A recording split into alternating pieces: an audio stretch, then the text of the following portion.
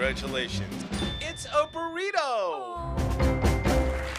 Being pregnant with a burrito baby, that's something you never want to deal with. But 14 year old Chef Jimmy is back and he has some guilt free Mexican recipes where you can have your burrito and eat it too.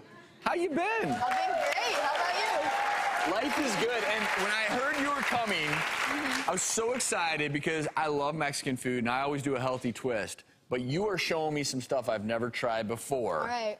Fired up. What's this first one? The lean mean. This is my lean bean lean bean. burrito. bur- oh, And I basically good- I took a regular bean and cheese burrito and I gave it a healthy makeover. So then what we got in here is the beans instead of frying them up in lard, which is not as healthy for you, I use coconut oil, which is a very Mm. healthy substitute.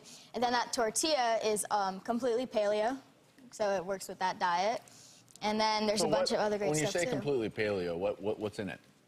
Um, well, it's basically like eggs and some coconut flour for extra protein, and then it's like the paleo diet is kind of based on lean meats and then nuts, and it's pretty healthy. This is really smooth. I keep using that word, but it, it just it's so tasty and and yet, you know how you eat a burrito. And you, and it hits your lips and you love it. It tastes so good, but you're like, oh, 30 minutes, from, I'm gonna feel so bad. Yeah. That's not gonna happen here. This this is bueno, as in good beans. All right. Yeah, and then the cheese too is queso fresco. All right, but I like chips and dip. I really do. Who doesn't? But it doesn't have to be unhealthy, right? Yeah, no, these are my chips and salsa, and then instead of using regular corn chips, I substitute them with plantains. Really? So do you Yeah. you cut them up and then bake them? How does that work? Yeah, I'd um, cut them up and then some seasoning, and then just bake them instead of frying them too, so that's healthier. And then the salsa that you just tried is a chipotle garlic. Ooh, I like that. And over here is a hummus. It's jalapeno and cilantro. And what's great, you know, chips, even just 20 chips can have 300 plus calories. Yeah. And they don't have the nutrients of these plantains. Plantains are loaded with nutrients. Yeah, just like bananas, they have tons of potassium.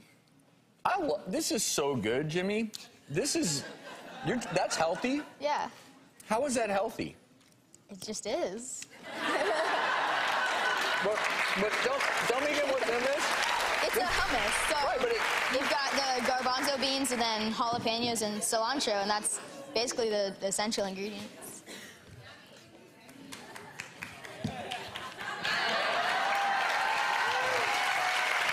That's so good. Thank you. All right. Last, but I'm guessing not least. Definitely not. So these are my uh, my healthy tostadas, and for the shell, it's actually it's a cauliflower-based shell, and you've got some eggs in there too, just to give it some binding. And then there's a layer of guacamole, some shredded chicken, and then on top, that beautiful pink is red onions pickled in lime juice.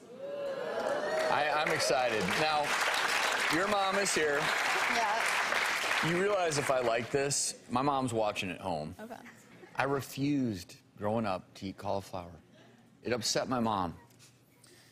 But if I like this, I think it officially means I like cauliflower. I think so. That is, that's like taking your world and flipping it upside down, Jimmy. This would be two times in a row. Mm -hmm. This is big. All right, so let's try it. The moment of truth.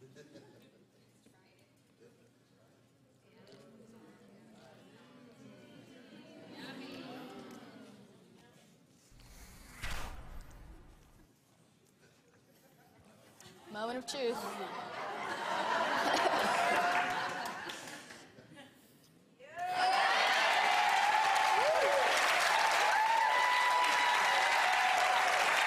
There's cauliflower in that? Yeah, tons. Really? Mm-hmm. It tastes lovely. It tastes good. It, it really is.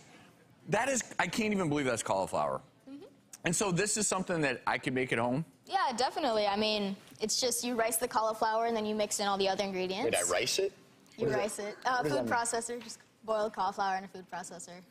Does he always talk like this, Mom? He does. so I just rice, but I could I could literally make this. When are we gonna Yeah. cook together?